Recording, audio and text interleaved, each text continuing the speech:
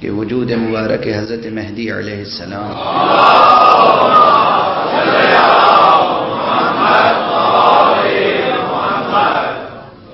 حضرت کے وجود پر قرآن مجید میں بہت سی دلیلیں ہیں۔ ایک دو دلیلیں نہیں ہیں بہت سی دلیلیں ہیں۔ سورہ مبارک قدر،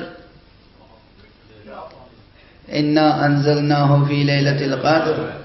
یہ سورہ خاص تعلق رکھتا ہے حضرت امام عصر سے۔ اس سورے کی تفسیر مکمل ہو ہی نہیں سکتی جب تک کہ ذکر امام عصر نہ ہو جائے۔ خاص تعلق۔ ہے اور مسئلہ وہی ہے۔ پروردگار عالم نے فرمایا ہے کہ ہر سال شب قدر میں فرشتے نازل ہوتے ہیں۔ فرشتے اگر کوئی محبت ملائکہ نہ ہو۔ کوئی مختلف ملائکہ نہ ہو۔ کوئی ایسا مرکز نہ ہو جہاں فرشتے آ سکیں۔ تو کہاں آئیں گے؟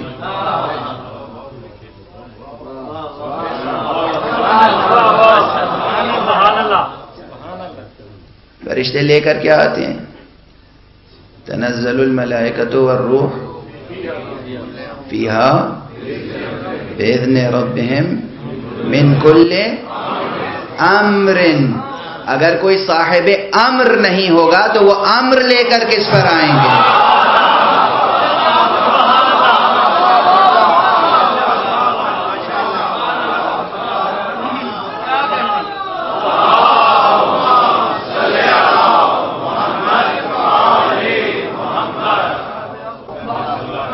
صاحب امر ہوگا تو اس پر امر لے کر آئیں فرشتے آتے ہیں ہر سال آتے ہیں۔ شب قدر میں امام کے پاس اگر امام نہ ہو تو فرشتوں کا نزول رک جائے۔ فرشتوں کا نزول رک جائے تو برکات الہیہ منقطع ہو جائیں برکات و فیوز الہیہ منقطع ہو جائیں تو یہ زمین تمام خلقت کے ساتھ ختم ہو جائے۔ ممکن نہیں ہے کہ کائنات باقی رہے بغیر وجود حضرت ولی اللہ العظام بقیت اللہ العظیم. ممکن نہیں.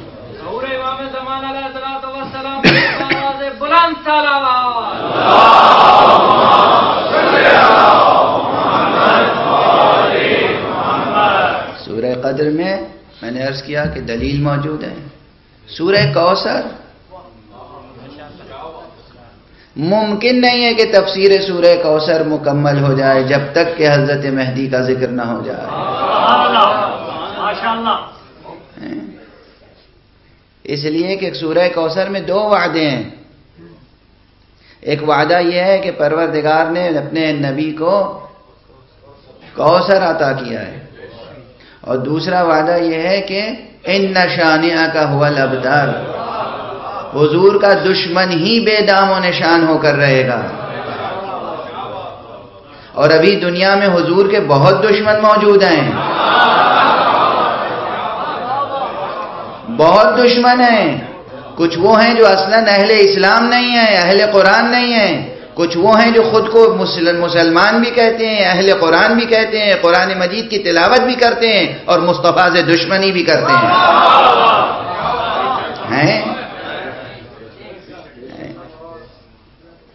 ان دشمنوں کا وجود یہ بتاتا ہے کہ ابھی وعدہ الہی مکمل نہیں ہوا۔ ان نشانیہ کا ہوا الابتر، یہ وعدہ الہی مکمل ہوگا یا نہیں ہوگا؟ جو بھی قرآن مجید پر ایمان رکھتا ہے، وہ جانتا ہے کہ اللہ کا وعدہ مکمل ہوگا۔ حضور کے دشمن بے نام و بے نشان ہو کر رہیں گے۔ تو بے نام و بے نشان کرنے والا بھی تو کوئی ہوگا؟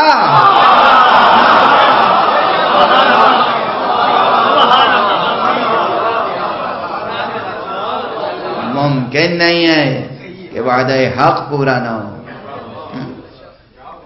سورہ مبارک ہے کوثر دلیل ہے وجود مبارک حضرت مہدی پر؟ سورہ قدر دلیل ہے وجود مبارک امام مہدی پر۔ سورہ ملک دلیل ہے وجود مبارک امام مہدی پر۔ سورہ ملک کس آب و تاب سے سورہ شروع ہوا ہے؟ تبارک الذی بیدہ الملک وهو علی کل شیء قدیر۔ کیا آب و تاب ہے؟ خدا کی قدرت کا اعلان ہے۔ اور آخری آیت کیا ہے؟ ارأيتم من اصبح ماؤكم غورا فمن ياتيكم بماء معين کیا تم نے کبھی سوچا، کبھی غور کیا کہ جب آب حیات خشک ہو جائے گا، جب ہدایت کا سرچشمہ غائب ہو جائے گا، تو دوبارہ کون ظاہر کرے گا؟